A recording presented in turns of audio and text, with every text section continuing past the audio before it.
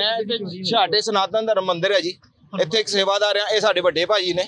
ਇਹ ਵੀ ਇੱਥੇ ਸੇਵਾ ਕਰਦੇ ਨੇ। ਰਾਤੀ ਪੰਡਿਤ ਜੀ ਮੰਦਿਰ ਬੰਦ ਕਰਕੇ ਗਏ ਨੇ। 12 1 ਵਜੇ ਦੇ ਦੌਰਾਨ ਦੇ ਵਿੱਚ ਹੀ ਇੱਥੇ ਚੋਰੀ ਹੋ ਗਈ ਆ। ਸਾਨੂੰ ਨਹੀਂ ਪਤਾ ਵੈਸੇ ਲੱਗਦਾ ਕਿ ਇਸ ਤਰ੍ਹਾਂ ਇਧਰੋਂ ਦੀ ਉਹਨਾਂ ਪੌੜੀ ਲਾ ਕੇ ਅੰਦਰ ਗਏ ਨੇ। ਸਾਰੇ ਅੰਦਰ ਉਹਨਾਂ ਦੇ ਤਾਲੇ ਤੋੜੇ ਨੇ ਗੱਲੇ ਤੋੜੇ ਨੇ। ਭੋਲੇ ਸ਼ੰਕਰ ਜੀ ਦੀ ਗਾਗਰ ਸੀਗੀ ਚਾਂਦੀ ਦੀ ਨਾਗ ਸੀਗਾ ਚਾਂਦੀ ਦਾ ਤਰਸ਼ੂਲ ਸੀਗਾ ਚਾਂਦੀ ਦਾ।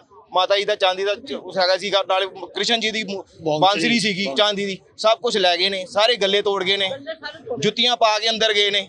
ਬੇਅਦਬੀ ਕੀਤੀ ਹੈ ਮਾਤਾ ਜੀ ਦੀ ਚੂੜੀਆਂ ਤੋੜੀਆਂ ਨੇ ਅੰਦਰ ਵੜ ਕੇ ਉਹਨਾਂ ਨੇ।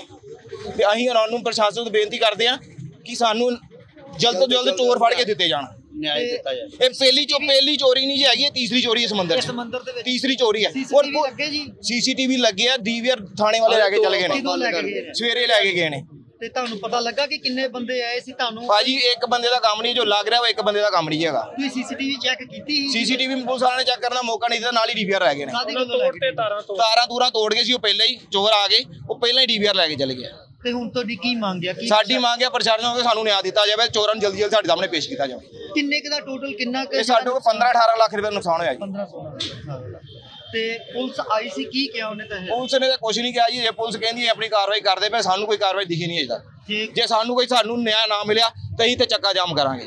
ਧਰਨੇ ਲਾਵਾਂਗੇ ਥਾਣੇ ਦੇ ਅੱਗੇ ਵੀ ਤੇ ਚੌਂਕ ਦੇ ਵਿੱਚ ਵੀ। ਤੇ ਨਾਲ ਦੇ ਕੁਝ ਕਦਮਾਂ ਤੇ ਹੀ ਪੁਲਿਸ ਚੌਂਕੀ ਬਿਲਕੁਲ ਜੀ। ਪੁਲਿਸ ਤਾਂ ਥਾਣਾ ਬਿਲਕੁਲ ਨਾਲ- ਸਾਹਮਣੇ ਨਾਲ ਕਰਮਾ ਦੇ। 200 ਮੀਟਰ ਦੀ ਦੂਰੀ ਆ। 200 ਮੀਟਰ ਦੀ ਦੂਰੀ ਤੇ ਆ।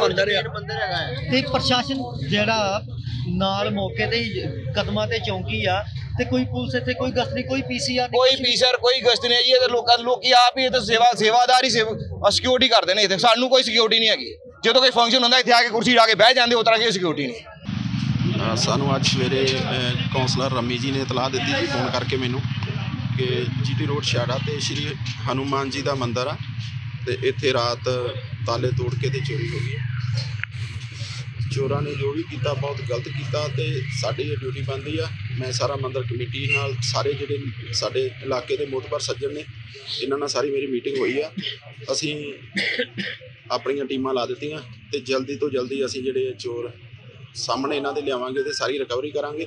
ਮੁਕੱਦਮਾ ਦਰਜ ਕਰਕੇ ਅਸੀਂ ਟੈਕਨੀਕਲ ਤਰੀਕੇ ਨਾਲ ਵੀ ਤੇ ਆਪਣੇ ਸਿੱਧੇ ਤਰੀਕੇ ਨਾਲ ਵੀ ਅਸੀਂ ਜਿਹੜਾ ਵਾ ਉਹ ਚੋਰ ਲੱਭਣੇ ਸ਼ੁਰੂ ਕਰਤੇ ਆ ਤੇ ਬਹੁਤ ਛੇਤੀ ਤੁਹਾਨੂੰ ਇਹਦੀ ਇਤਲਾਹ ਦੇਵਾਂਗੇ ਕੁਝ ਕਦਮਾਂ ਤੇ ਹੀ ਪੁਲਿਸ ਚੌਂਕੀ ਆ ਸਰ ਤੇ ਪੁਲਿਸ ਚੌਂਕੀ ਦੇ ਹੋਣ ਦੇ ਬਾਵਜੂਦ ਵੀ ਕੁਝ ਮੇਰੇ ਖਿਆਲ ਨਾਲ 1 ਮਿੰਟ ਦਾ ਰਸਤਾ ਵੀ ਨਹੀਂ ਹੈਗਾ ਤੇ ਨਾ ਪੀਸੀਆਰ ਇੱਥੇ ਹੈਗੀ ਆ ਮੰਦਿਰ 'ਚ ਤੀਸਰੀ ਦੀ ਇਹ ਵਾਰਦਾਤ ਹੋਈ ਹੈ। ਦੇਖੋ ਜੀ ਮੈਂ ਪਿਛਲੇ 9 ਮਹੀਨਿਆਂ ਤੋਂ ਇੱਥੇ ਤੈਨਾਤ ਹਾਂ ਤੇ ਮੈਂ ਲਗਭਗ ਸਾਰੇ ਮੇਰੇ ਸੰਪਰਕ 'ਚ ਨੇ ਸਾਰੀਆਂ ਸੰਸਥਾਵਾਂ ਠੀਕ ਹੈ ਨਾ ਜੀ ਪਿਛਲੇ 9 ਮਹੀਨਿਆਂ ਤੋਂ ਤੇ ਕਦੀ ਸਾਨੂੰ ਇੱਥੋਂ ਕੋਈ ਸ਼ਿਕਾਇਤ ਨਹੀਂ ਗਈ। ਅੱਜ ਜੇ ਕੁਝ ਹੋਇਆ ਵਾ ਤੇ ਉਹਦਾ ਬਕਾਇਦਾ ਅਸੀਂ ਪਰਚਾ ਦਰਜ ਕਰਕੇ ਉਹਦੀ ਕਾਰਵਾਈ ਕਰ ਰਹੇ ਹਾਂ। ਸੀਸੀਟੀਵੀ 'ਚ ਕੁਝ ਹੈਗਾ ਸਰ? ਸੀਸੀਟੀਵੀ? ਅਸੀਂ ਕਰ ਰਹੇ ਹਾਂ ਜੀ ਖੰਗਾ ਰਹੇ ਹਾਂ ਸਾਰਾ ਕੁਝ ਸਾਡਾ ਇਹ ਤਫਤੀਸ਼ ਦਾ ਮੈਟਰ ਆ। ਸਾਰਾ ਅਸਲੀਅਤ ਕੱਢ ਕੇ ਤੁਹਾਡੇ ਅੱਗੇ ਰੱਖ ਦਾਂਗੇ। ਤੇ ਕਿ ਕਿੰਨੇ ਕੁ ਦੀ ਚੋਰੀ ਹੋਈ ਹੈ? ਕਿ ਕਿਹੜਾ ਕਿਹੜਾ ਉਹ ਅੰਦਾਜ਼ਾ ਲਾ ਰਹੇ ਹਾਂ ਜੀ ਸਹੀ।